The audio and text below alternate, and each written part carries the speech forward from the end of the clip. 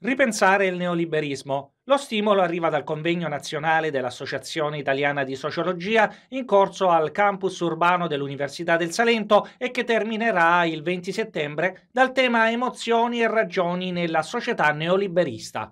Io credo che in questo convegno in realtà sia andare oltre il neoliberismo e in qualche modo individuare in questi due elementi che sono sempre stati visti antitetici, emozioni e ragioni, una, in qualche modo una visione comune, convergente, che dia il senso di, un, di uno sviluppo ancorato a basi diverse del passato. Si parla di ambiente, salute, sport, diritto, religione. Docenti universitari affronteranno tematiche care alle nuove generazioni, fra cui forme di protesta, disagi e influenze dettate dal capitalismo neoliberista.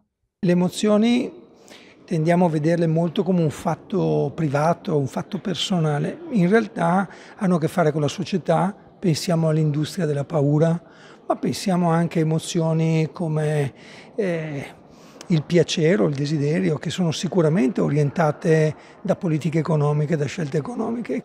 Il neoliberismo oggi si può ancora eh, dividere tra neoliberismo di destra e quello di sinistra? Non c'è più un neoliberismo marcatamente di destra o un liberismo più populista, libertario. In realtà è proprio connota il nostro vivere insieme, la nostra società. Centrale il tema del lavoro come valore. Se vogliamo il neoliberismo ha spinto moltissimo sull'idea che la tua identità è legata alla tua capacità di consumare più che alla tua identità professionale o di lavoratore. Adesso stiamo un po' pagando il prezzo di questa scelta, lo vediamo dopo il Covid. Le persone non mettendo più al centro il lavoro stanno creando problemi alle imprese che fanno fatica, per esempio in moltissime imprese, a conciliare le esigenze delle imprese con le aspettative dei giovani.